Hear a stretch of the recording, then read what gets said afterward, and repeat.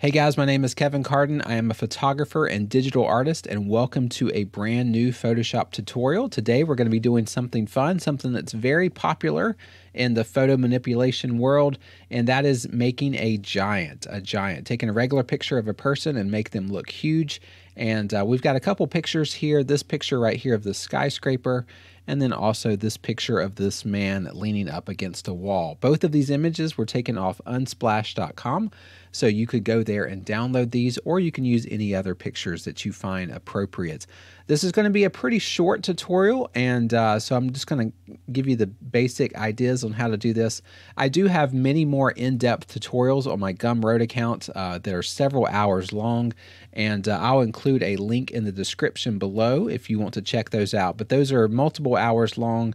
All the PSDs and the stock images are included, and I go in a lot more detail on how to do things like this. But for today, this is going to be a quick uh, tip on how to do uh, this type of manipulation. So the first thing we want to do is take our image right here of this man. He is leaning up against a, uh, a stone wall here, and that stone wall is going to be this uh, skyscraper. So I'm going to make him slightly invisible, change my opacity down. And essentially, I'm, all I'm going to do is try to figure out where he needs to be. And so I want to kind of zoom in a little bit and make sure that the wall that he's leaning on matches as best as I can with the wall that is uh, of the side of the skyscraper. So something kind of like that. Also, you want to make sure where his feet's going to be, that they would actually be on the road. You wouldn't want to do it way down here because it would make no sense. But if he was standing on the sidewalk or standing on the street, uh, then that's about about right in there is where he would be. Click your check mark when you're happy with that, and let's uh, see how that looks. That's about where he would need to go. All right, so the next thing I'm going to do is I'm going to go ahead and just uh, cut him out of the scene. So just get a quick select tool. Typically, I would take a pen tool and get a really nice uh, selection here, but I'm just going to do the, a very quick, quick select tool. Uh, so right over here, your quick selection tool and just paint over your model.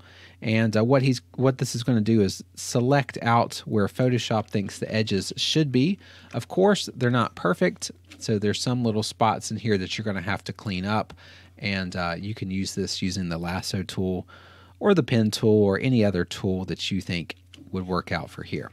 Uh, but essentially, I'm just doing a very quick selection to make sure that he is cut out of the scene and then what we'll do is we will composite him into the city scene. Okay, once you have him selected, what you want to do is just hit your layer mask button, and now he is uh, cut out from the his background and he's placed on this background.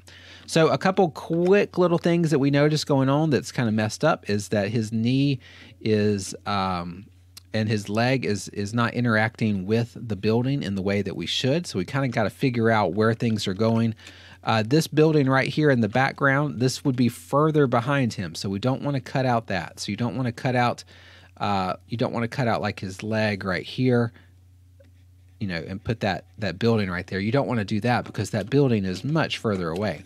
However, when we have this one right here, when we have this uh, these buildings right here, we do need to cut these out. So I'm just going to go ahead and cut these buildings out right here. I'm just using a brush tool, but you can use any type of uh, selection technique that you want to do. So something kind of like that.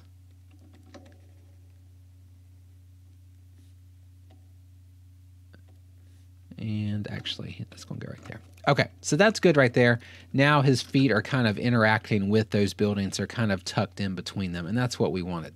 Okay, so the next thing we're going to do is we need to make sure that shadow looks accurate. So let's take a, a, a look back at that original image uh, that you can see his shadow is behind uh, his back here, and it's kind of uh, it's right here at his shoulder blade and his upper back, and maybe a little bit uh, on his lower back as well, and then also on the shoe. Those are all casting these these shadows behind him. So we need to have that going on to the city below. So I'm just going to make a new layer on top of our city, change it to multiply, get a nice little gray color here, and I'm just going to kind of paint the shadows pretty much the same way I saw them in the original image.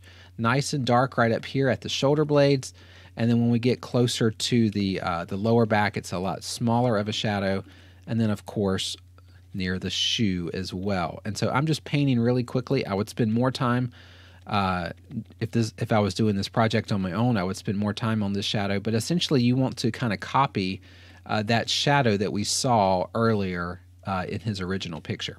But something kind of like that looks all right. Just like that. I think that looks fine.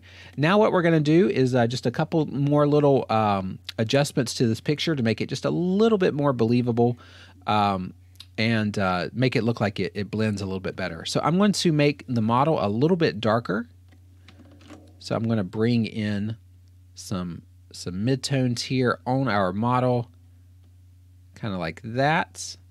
But I'm going to invert that, and I'm only going to put those hard shadows right on his back, if that makes sense. So I'm just kind of putting those dark shadows like on the back of his uh, shoe, the back of his shirt, maybe part of his legs, just kind of like that. I'm just creating a little bit more contrast uh, behind him where the sun is uh, not hitting quite as much, kind of like that. And then what I'm going to do is I'm going to select this building out. So I'm just going to do a quick select tool. Actually, let me just quick select tool the sky and then invert it. There we go. Now I have the uh, the building is selected, and I'm going to change um, uh, the darkness of this other side of the building. So this this building right here is actually going to be a lot darker. This back side of the building, because the sun is over to the the left where the guy is standing, and so I want to make the this building a lot darker. So change that to multiply, like that. Just changing some some shadows here, and then what I want to do for this actual layer is I want to cut out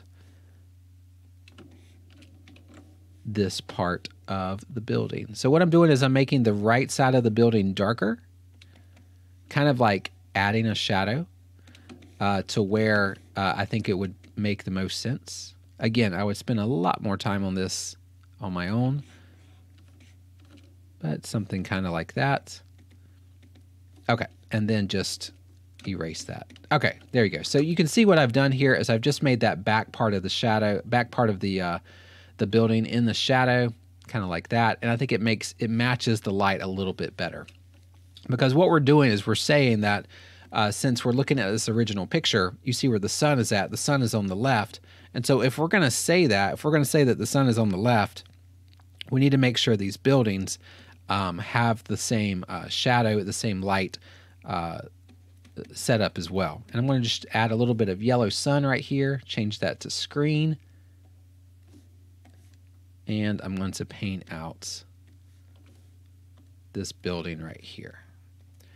And guys, that's pretty much all I've got for today. This is a quick tutorial. I think we're at eight minutes or something like that. This is, uh, I would spend about an hour or two making this look as realistic as possible. Uh, but that is the basic uh, concept of how I would do this. I would uh, make sure that the, the model is uh, in the same kind of uh, perspective as this building. Then line the building up, line the uh, the model up with the building. Put those shadows on the building in the same way that you saw on the uh, the original picture, and then just make sure your light matches up as good as you can. If the light is on the left, you need to have shadows on the right, etc. Um, so th this is not a perfect background because you can see that the sunset is uh, on a different angle for for the actual city picture. Uh, so I'm kind of forcing it to make it work as, as best as I can. Uh, but something like these, these are fun pictures to do. Go out and take a picture of yourself or your friends uh, leaning up against something, then go take a picture of a city building, and then you can combine them together and have a lot of fun with it. Uh, but guys, that's all I've got for today. Hope that you enjoyed it, and uh, I will see you again tomorrow morning for a brand new Photoshop tutorial. Thanks, guys.